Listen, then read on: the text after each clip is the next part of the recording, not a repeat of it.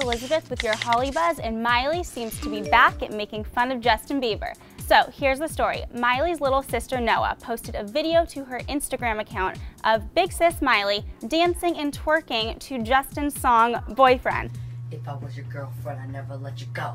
Unlike you other booze, I treat you like a hoe. I smack that ass and you drop it to the floor. Then you wop, wop, wop. Drop it like it's hot now. Drop it like it's hot now. Drop it like it's hot. Yeah, wop, wop, wop, wop. Drop it. Now, if you remember, this is not the first time that Miley has been caught on camera making fun of Justin. If you remember that hilarious viral video last year of Justin when he was in Brazil for his Believe tour, he was caught sleeping after an alleged one-night stand with Tati Neves.